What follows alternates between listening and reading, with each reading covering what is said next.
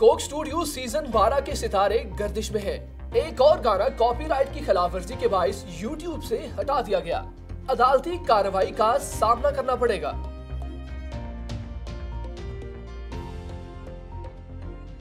ऑस्ट्रेलियाई बाशिंदे की उम्मीदें बर आई। सोना समझ कर रखा गया कई साल पुराना पत्थर और भी कीमती निकला। ये पत्थर ज़मीन पर सौ से हज़ार साल से जायद मौजूद है।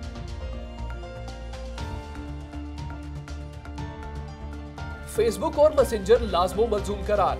मैसेंजर के लिए फेसबुक अकाउंट लाजमन दरकार होगा। सोशल मीडिया अकाउंट की तरफ़ लोगों को मुतवजे कराने के लिए ये कदम उठाया गया है।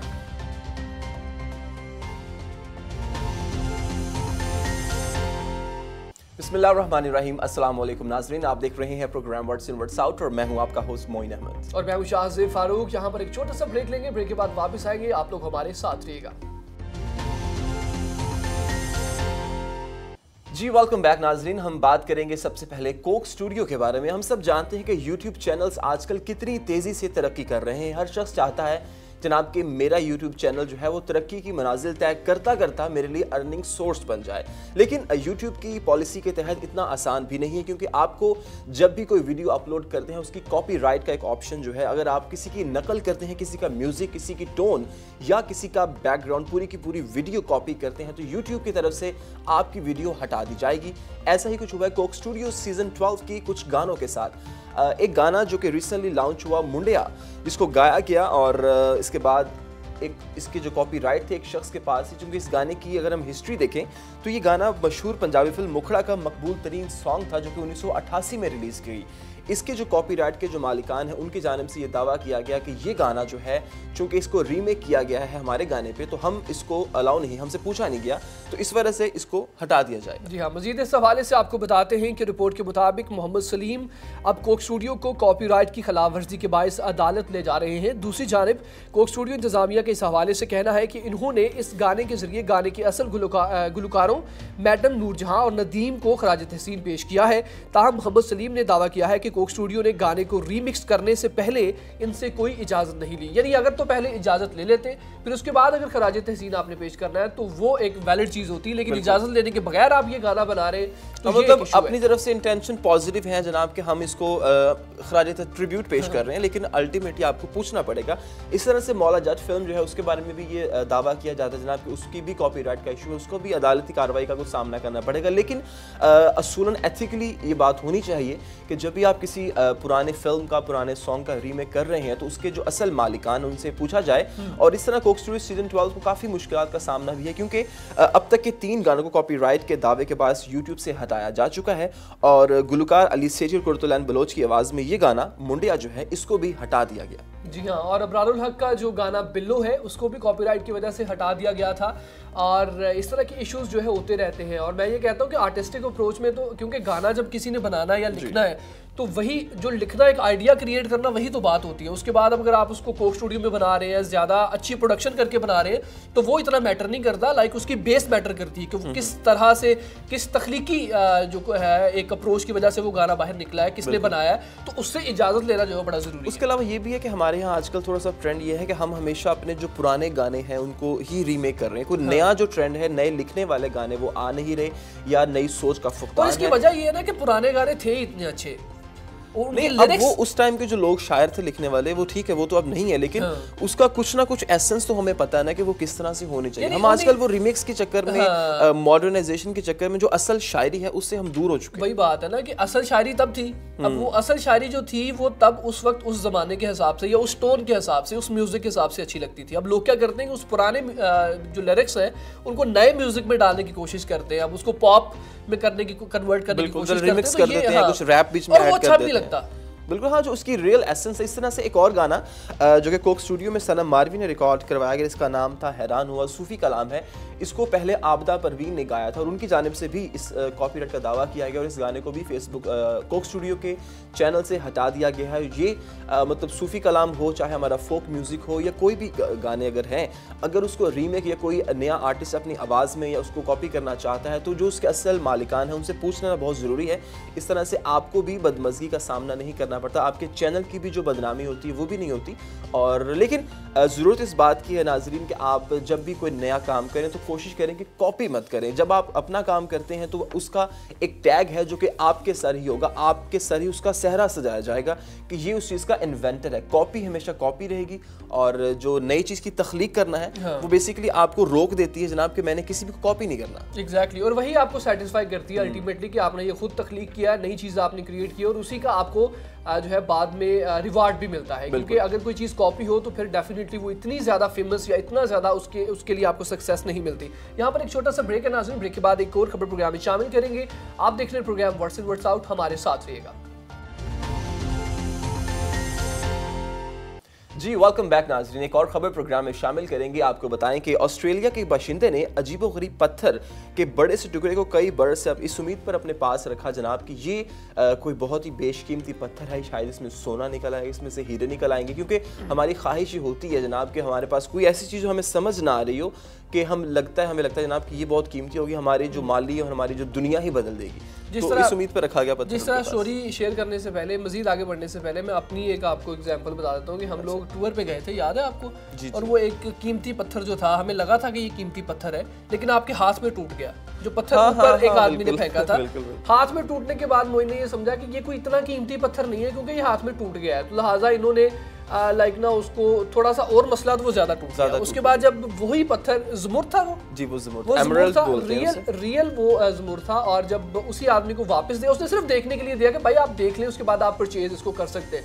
उसके बाद वो इतना नाराज़ हुआ उसने बोला कि भाई ये, ये मेरा दस हज़ार का नुकसान कर दिया हाँ, एग्जैक्टली तो हम और जब हम वापस किसी व्यापारी के पास गए थे जोहरी के पास, उनके पास काफ़ी सारे पड़े थे तकरीबन लाखों में उसकी अमाउंट थी।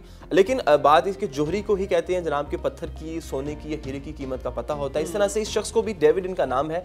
इनको कुछ अर्सा पहले पार्क से ये पत्थर मिला, जो कि सुर्खी माइल था। इन्होंने समझा शायद कि ये कोई ऐसी चीज़ है, जो कि मुझे मेरी ज़िंदगी बदल सकती है। इन्होंने अपने पास रखा और कोशिश की कई दफ़ा हथौड़े से, ड्रिल मशीन से, कि इसके अंदर शायद कुछ सोना निकलेगा। लेकिन इनकी कोशिशें बेसुद रहीं। कुछ निकला नहीं लेकिन बाद में साइंसदानों ने उसे बताया कि भाई। ये जो तुम्हारे पास है ये सोना चांदी हीरा से ज़्यादा कीमती चीज़ है। Exactly exactly. और उसके बाद सेल आउट भी किया उन्होंने या नहीं? नहीं सेल आउट नहीं किया साइंसदानों ने इसको चेक किया उसकी कीमत लगेगी। हाँ एग्जैक्टली बोली लगेगी। तो काफ़ी अमीर हो जाएगा। अच्छा इस तरह की जो चीज़ें जब आपको मिलती हैं तो ये पुराने ज़माने की बातें हो सकती हैं क्योंकि या फिर आजकल अगर पॉसिबल है तो मेरे ख्याल में इन एरियाज़ में तो पॉसिबल नहीं है जहाँ पर यू नो आबादियाँ ज़्यादा हैं तो इस तरह की चीज़ें बड़ी मुश्किल से हमें मिलती हैं। हम्म। लेकिन अगर मिल जाए मैं ये अक्सर सोचा करता हूँ कि हम लोग दिन रात जो है मेहनत करते हैं एक महीना पूरा मेहनत करने के बाद हमें सैलरी मिलती है। अगर इस तरह की चीज़ किसी इंसान को मिल जाती है लाइक फिर अच्छा यहाँ पे वो जो किस्मत वाला एक फैक्टर है ना हम्म। वो एग्जिस्ट करता है। देखिए अगर एक किसी इंसान को इस तरह की कोई चीज़ मिल जाए जो इतनी मालियत की हो तो वो तो फिर ज़ाहिर है उसकी ज़िंदगी तो अक्सर हमारे हमारे यहाँ पे ना शॉर्टकट मारने की बड़ी स्ट्रेटजी होती है। हम सोचते यार शायद मेरी लॉटरी लग जाएगी या मैं कहीं जा रहा हूँ मेरे हाँ। ज़मीन से तेल निकल आएगा मुझे कुछ सोने की ईंट मिल जाएगी सोने की देख मिल जाएगी।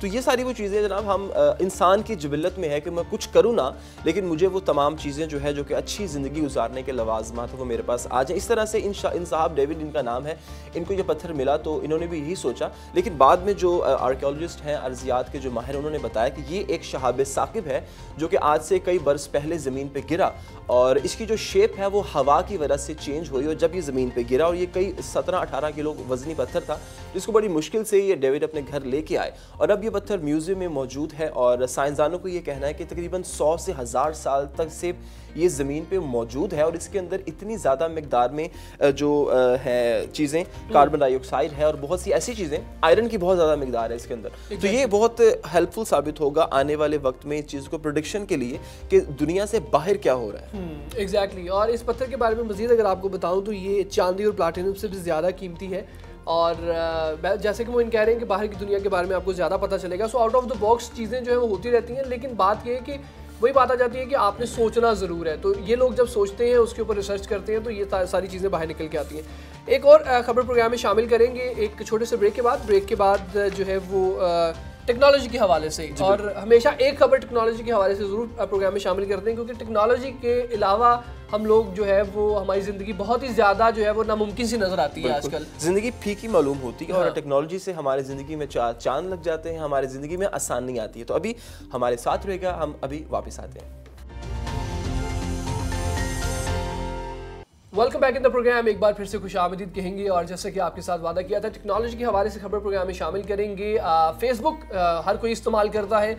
बाकी सोशल मीडियाज शायद इतने इस्तेमाल नहीं होते, लेकिन फेसबुक पर हर इंसान की रसाई है। चाहे वो लीड क्लास से बिलोंग करता है, चाहे वो मिडिल क्लास से बिलोंग करता है, या फिर लो क्लास से बिलोंग करता है, उसके पास अगर नेट है वाईफाई है तो उसको इस्तेमाल कर सकता है। फेसबुक और मैसेंजर ये दोनों ऐसी चीज़ें हैं जहाँ पर आप अपने पैगाम भेज सकते हैं, लोगों के साथ बातचीत कर सकते हैं। पहले ये होता था कि फेसबुक के ऊपर या मैसेंजर के ऊपर आपके जो मैसेजेस थे, जो इनबॉक्स के मैसेजेस थे वो आप इस्तेमाल कर सकते थे। लेकिन अब जो आपको स्टोरी बतानी है वो ये है कि मैसेंजर के लिए फेसबुक अकाउंट लाजमन दरकार है और अगर आपको मैसेजेस करने हैं मैसेंजर के ऊपर तो आपको फेसबुक के ऊपर अकाउंट बनाना ज़रूरी है। जी बिल्कुल फेसबुक इंतजामिया की जानब से यह कदम इसलिए उठाया गया कि लोगों को सोशल मीडिया की तरफ़ रागब जल्दी किया जाए, क्योंकि इससे पहले ऑप्शन ये था कि आप अकाउंट बनाए बगैर सिर्फ़ अपने मोबाइल नंबर पर मैसेंजर इंस्टॉल करते हैं और तमाम सहूलियात से फ़ायदा उठा सकते हैं। लेकिन इसके बाद आप सोशल अकाउंट से कट ऑफ़ हो जाते हैं। दुनिया में क्या हो रहा है, लोगों की एक्टिविटीज़ क्या हैं, इसके बारे में आप बिल्कुल नहीं जानते। लोगों की स्टोरीज़ आप नहीं देख सकते, जो आजकल बहुत ज़्यादा इंफॉर्मेटिव होती हैं, लोग शेयर करना चाहते हैं। तो फेसबुक ने ये किया कि अब आप अगर मैसेंजर इस्तेमाल करना चाहते हैं तो फेसबुक अकाउंट लाजमन दरकार होगा। उसके बाद ही सहूलत से आप फ़ायदा उठा सकेंगे। और इस तब्दीली के साथ ये होगा जनाब कि आप एट अ टाइम मैसेंजर भी इस्तेमाल करेंगे फेसबुक हम्म। भी उससे भी महजूज होंगे। तो वैसे आजकल मैं देखता हूँ कि फेसबुक की तरफ़ लोगों का जो रुझान है वो थोड़ा सा कम हो गया से ट्विटर इंस्टाग्राम और इस तरह की चीज़ों पर ज़्यादा हो गया हाँ, जब फेसबुक नई नई आई थी वो कहते हैं ना कि जैसे टिकटॉक के ऊपर लोगों का बड़ा आजकल रुझान है लेकिन with the passage of time अगर टिकटॉक जैसा ही कोई ऐप आ गया या कोई वेबसाइट आ गई तो फिर डेफिनेटली टिकटॉक से थोड़ा सा ध्यान लोगों का बढ़ जाएगा। तो यही हुआ कि जब फेसबुक थी फेसबुक के ऊपर बहुत सारे लोग थे लेकिन इंस्टाग्राम ने उसका थोड़ा सा हिस्सा जो है वो अपनी तरफ़ ले लिया लोग थोड़े से वहाँ के फॉलोअर्स हो गए। लोग इस्तेमाल करने लगे और जो वजह है ना इसकी, इस चीज़ की वो ये कह कि इंस्टाग्राम और जो व्हाट्सएप है उसके साथ भी इस चीज़ को जोड़ना चाह रहे हाँ। तो फेसबुक ने ये किया कि एक बड़ी अम्ब्रेला बन गई। उसके हाँ। जो भी एप्लीकेशन फेसबुक के मुकाबले में आती थी वो तमाम की तमाम अब फेसबुक के साथ काम कर रही है। फेसबुक ने ख़रीद लिया उन सबको। तो इसके साथ ये भी फ़ायदा होगा अगर आप मैसेंजर इस्तेमाल करते हैं तो फेसबुक पे चूँकि एक ऐसा सोर्स भी है जिसपे आप अपनी मार्केटिंग कर सकते हैं आप अपने आप को फ़ायदा पहुँचा सकते हैं पैसे भी कमा सकते हैं। तो ये लोग कर रहे हैं एग्जैक्टली हाँ, तो वो लोग जो है मतलब जो सिर्फ़ कहते हैं कि हमने महदूद रहना है मैसेंजर तक ही हम्म। तो उनके लिए ये अपॉर्चुनिटी है कि वो फेसबुक इस्तेमाल करें और अपनी जो भी आप काम कर रहे हैं लोगों को दिखाएँ क्योंकि जो दिखता है वो बिकता है एग्जैक्टली exactly. और फेसबुक के ऊपर जाकर आप ऑब्वियसली uh, प्रमोशन कर सकते हैं अपने ब्रांड्स की अपनी प्रोडक्ट्स की और साथ ही साथ में आप लोग अगर खुद प्रोडक्ट बन के लोगों को दिखाना चाहते हैं आप कोई आपके अंदर कोई टैलेंट मौजूद है तो आप वहाँ से लाजमी जो है वो अपनी एक रिकग्निशन बना सकते हैं सो नाजिन uh, सिर्फ़ uh, ज़रूरत इस बात की है कि आप लोगों ने अपने आप को डिस्कवर करना है और वट एवर यू वॉन्ट वो आप कर सकते हैं। उसके लिए ढेरों प्लेटफॉर्म्स ढेरों अपॉर्चुनिटीज़ आपके इर्द गिर्द मौजूद होती हैं सराउंडिंग्स में। सिर्फ़ आपको थोड़ा सा फोकस होकर देखना है तराशना है और उसको थोड़ा सा बाहर तो निकालने पॉलिश करके अपने आप को निकालना है। उसके साथ हमारा यूट्यूब चैनल आप सब्सक्राइब कर सकते हैं। दैट इज़ ब्राइट टीवी और हमारी एप्लीकेशन भी डाउनलोड कर सकते हैं। That is also Bright Star TV जी और इसके अलावा triple W dot Bright Star TV dot live website वहाँ पर भी आप लोग देख पाएँगे। और फेसबुक की स्टोरी थी फेसबुक पे भी हम लोग अवेलेबल है। हम भी अपनी प्रमोशन कर रहे हैं। हमारा भी प्रोडक्ट है और वो प्रोडक्ट है programme words in words out इसको देखना मत भूलिएगा मुझे और मोइन अहमद को इजाज़त दीजिए। अपना बहुत सारा ख्याल रखिएगा। अल्लाह हाफिज़।